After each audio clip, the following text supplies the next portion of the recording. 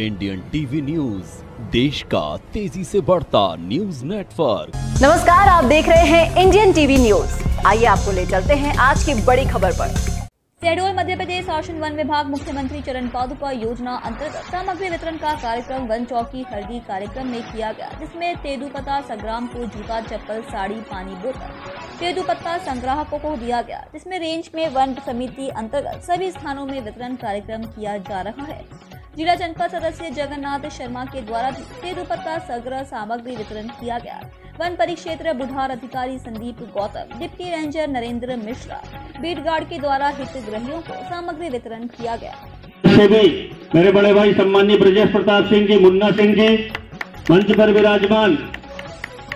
यहाँ जो आप लोगों के बीच चार छह महीने से सेवा दे रहे हैं और आज के इस कार्यक्रम का जिन्होंने बखूबी आयोजन यहाँ पर किया है, ऐसे हमारे नवोदित रंजर साहब संदीप गौतम जी मंच पर विराजमान हमारे पत्रकार भाई घनश्याम भाई साथ ही साथ यहाँ उपस्थित डिप्टी रेंजर साहब नरेंद्र मिश्रा जी सगीर भाई भाईजान और यहाँ पर उपस्थित वन विभाग। इसी तरह देश दुनिया की हर खबर को जानने के लिए देखते रहिए इंडियन टीवी न्यूज़। हमारे चैनल को सब्सक्राइब कीजिए और हमारे इस वीडियो को शेयर ज़रूर कीजिए। धन्यवाद।